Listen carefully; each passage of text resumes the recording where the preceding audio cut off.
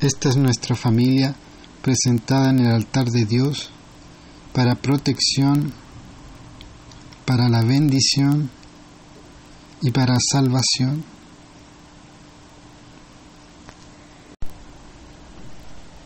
Cada domingo están en, nuestras oraciones porque la oración puede mucho y todo lo que uno determina acá en la tierra será determinado en el cielo. Para todos, bendiciones. Y en Semana Santa nos juntamos para comer un asado.